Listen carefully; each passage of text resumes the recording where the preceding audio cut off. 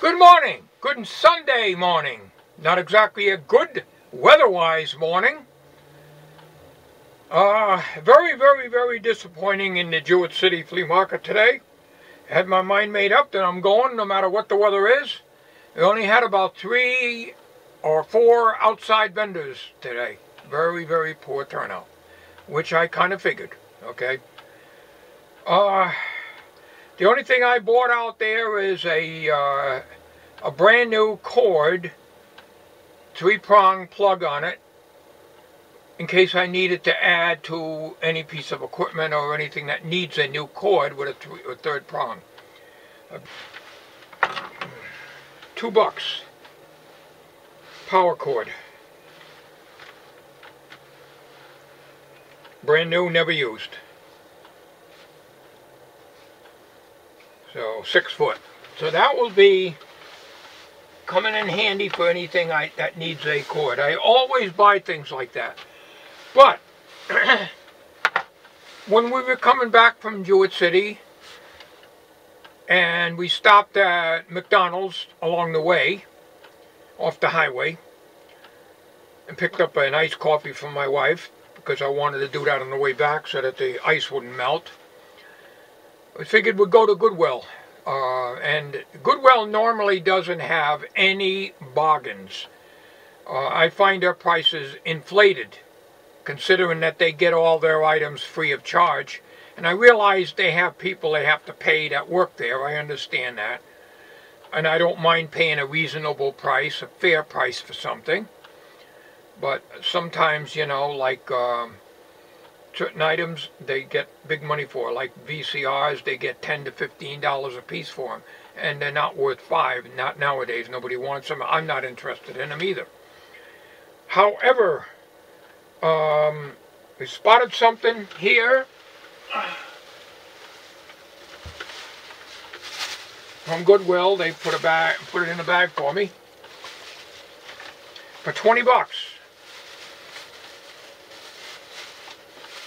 What I've been looking for for the bench, my shop.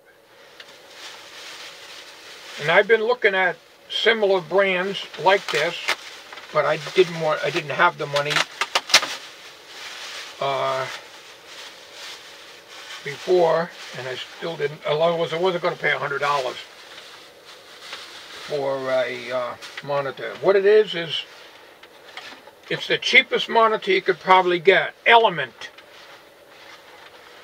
TV, flat screen, um, has the video inputs. However,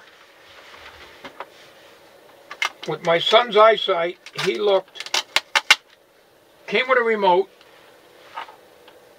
I'll, I'll give you a close-up of this. It's got a, some, somebody's writing on here. Oh, KT, a kitchen.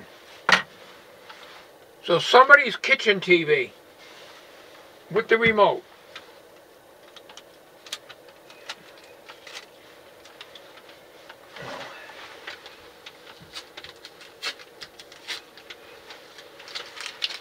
this tape here.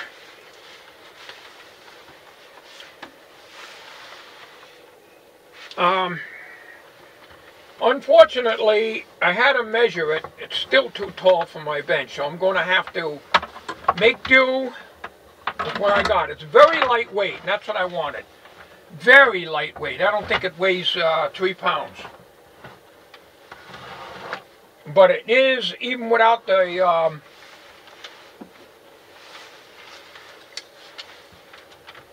it's ten and a half inches tall. It would probably fit there if I remove the base and make some kind of a holder for it. It wouldn't put too much of a strain on this shelf. This is half inch plywood. There is no sagging on that anyways because the shelf is uh, is seven and a half inches and the rest sits on top of a horizontal 2x4. So there is no sag. That's That is three quarter inch plywood, not OSB crapboard. I don't use OSB crapboard anymore. I made the mistake years ago when I did my shed with it. Anyways, 20 bucks. Element, which is the cheap brand. I think Walmart sells these. And it does come on.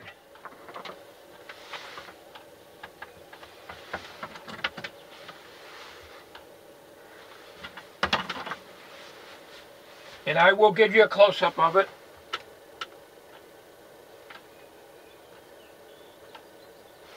Power's on.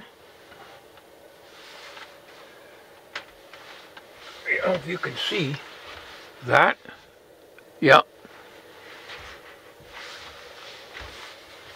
HDMI. No signal. But it's nice and bright, and that's what I want. I mean, I can use a DVD player. Now, I'm going to show you the jacks on the back of this now that I removed the remote from the uh, the back of this. You know, it was taped to the back. Uh, you'll be able to see all the jacks on here, and I'll get. I'm using the uh, uh Kodak PlayTouch so I can get you a close-up of it. I'm not going to use the uh, cell phone for close-ups. I don't need to be that precise anyways, uh, so let's see what we got on the back here. This is the Goodwill uh, sign here. This product has been tested and is in good working condition. Return policy, 24 hours Damn fine print gets me every time. Uh, hours for store credit with receipt. No refunds. Credits on computers. Okay, that's the Goodwill sticker.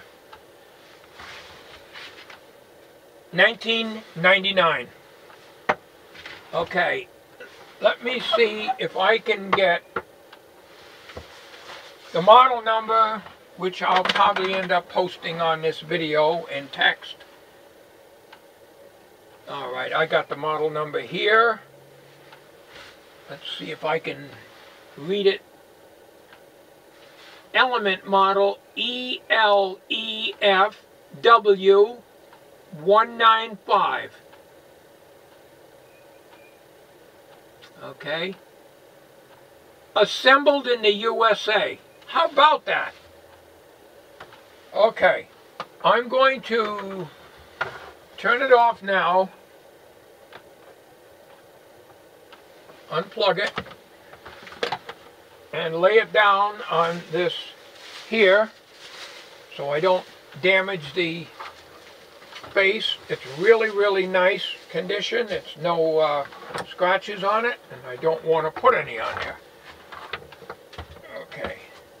All right, well, it's a stand holds it up off there, and it was a, a very lightweight, flimsy stand, but fine. It's easy to move. Now, let me get... It's got, um, I don't know what this is. It could be an earphone jack. Optical audio out. Uh, audio in left and right red and white. Video slash Y. I'm not sure what that is. But it looks like it has the green, the blue, and the red. I don't see the yellow composite. I didn't see it in the store, and Tommy was looking at it. And um, he didn't see it either, so there's a possibility that I may not be able to put my analog camera in here. But if it don't work out for my shop, well, if the CRT TV ever goes in the bedroom, I can always use this there. But let me get you a close-up of this. So hang on just a minute. Alright. I don't see that familiar yellow input jack. We got the green, the blue, and the red.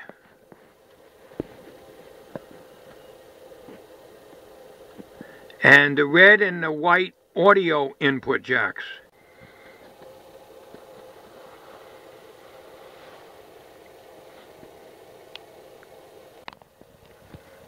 I'm on macro. So I'll move this in and out a little bit just to get the focus range we want. There's your model number. And get a little closer here just to make sure it's focusing all right.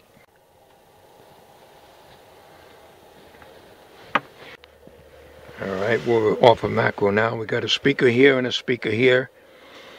And on the side, on this side, all right. And it looks like the uh, the TV input coaxial. Um, and a USB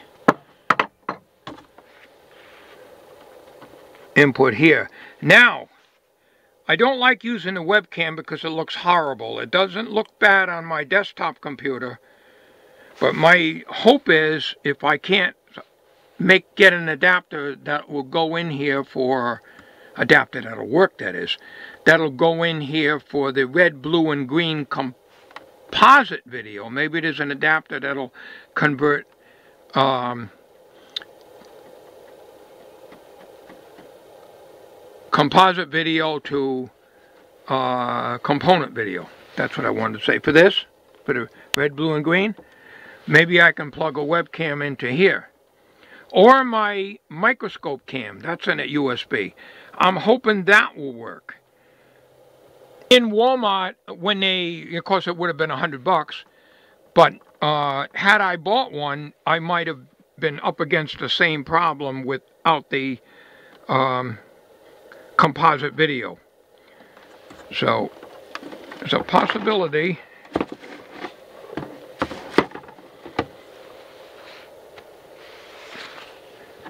that maybe I'll be able to locate a composite video input converter that will output red, blue, and green component input. We already know that the one I sent Doug don't work. So, um, so what I'm going to do now is I'm going to set this up for I don't have a webcam out here but I'm going to try my microscope camera in the jack over here. Alright, here's the menu button. Really not sure what I'm doing on this.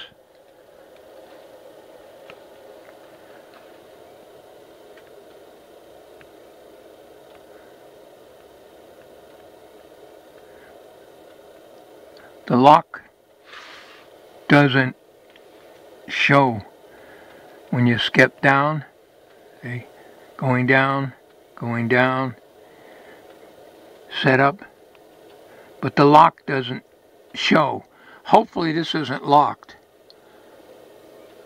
okay uh, so I really don't know what I'm doing with these things. I, I'm not good at these things at all. I'm not good at a lot of things, to tell you the truth, but exit. Yeah. Alright, the only thing that shows up is HDMI in the right hand corner here. So, I guess the only thing to do is to plug in my microscope camera. That's on the other side. Into the USB here. Alright, it's plugged in.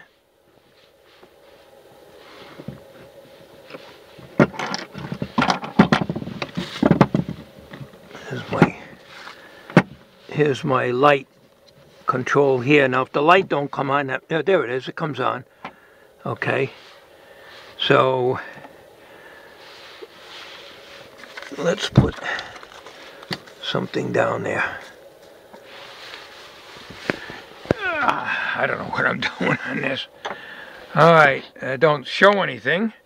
But the fact that the light works on this means that it's getting power from that USB jack on the back of this thing. So, uh,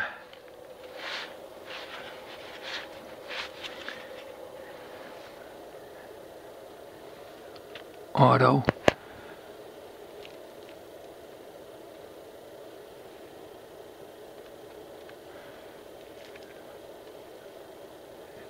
SPDF type. Don't ask me what that is. Volume, sound, balance, bass treble. Alright.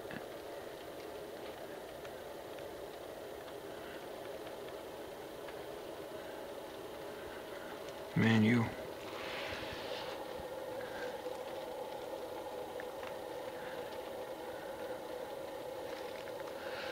Menu. Auto.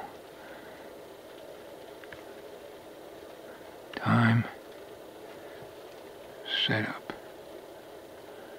Menu language.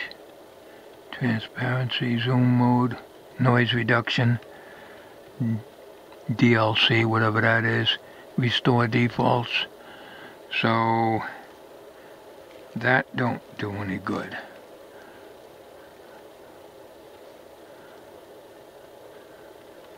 These two don't show anything. They don't, the menu don't step down to that. I am going to have to get the book online if I can to know how to use this. But I, I should be seeing something in here, but all I got is HDMI up here, so I don't know how you would get, maybe it's auto detect. So, well now, yeah, the light's on. The light's on there, see it? And maybe it's auto detect. But if it is, it's not showing up on the screen. But this would only be the microscope cam. Uh, this is not going to do general work. This is for real, real close-ups, which would be very neat if I could use this for that purpose. Ah, oh.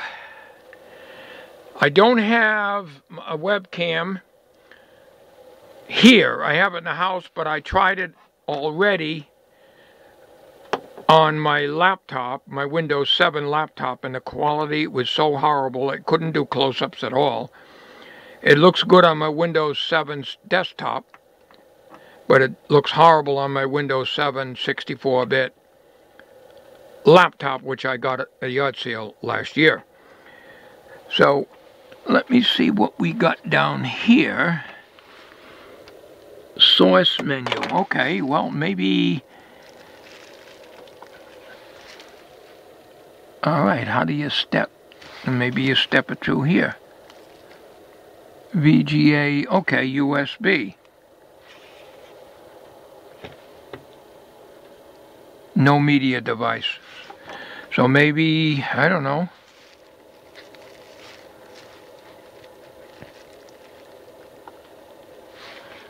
All right. VGA. That's the that's the uh, when you're using a computer HDMI component AV. That's component AV. Okay, that's not going to do any good. I need composite. And I guess it went off the screen. I'm very slow at these things. They don't leave uh, give you enough time to do that. Okay, this is the TV now. No signal. Okay, so let's see what else we got here. Channel up and down and volume up and down. Okay.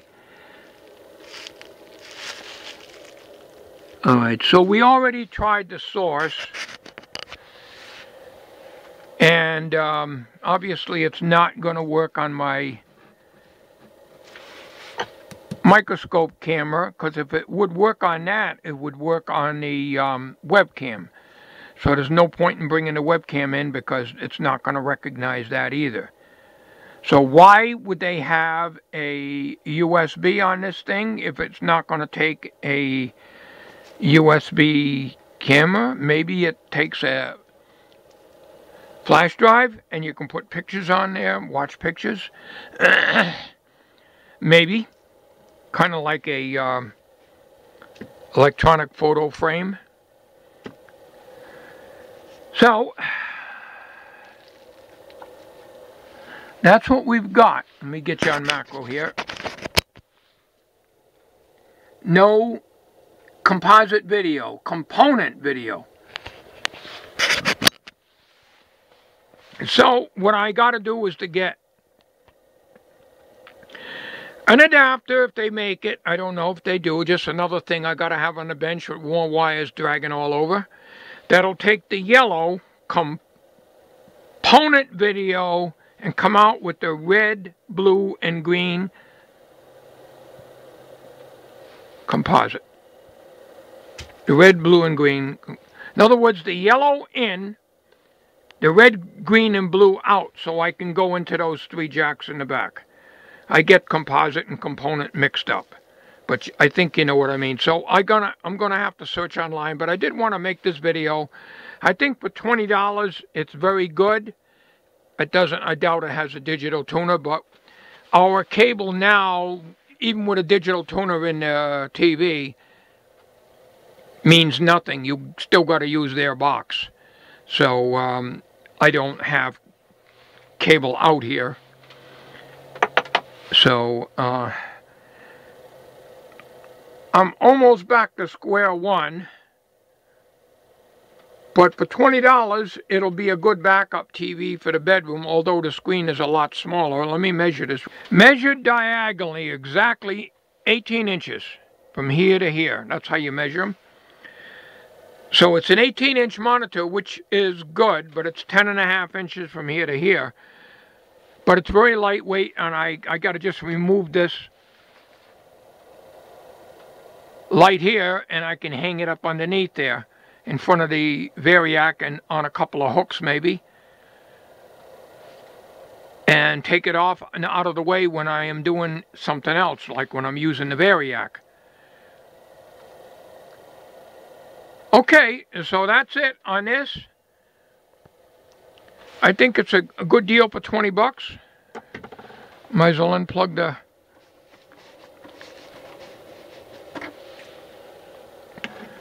microscope cam.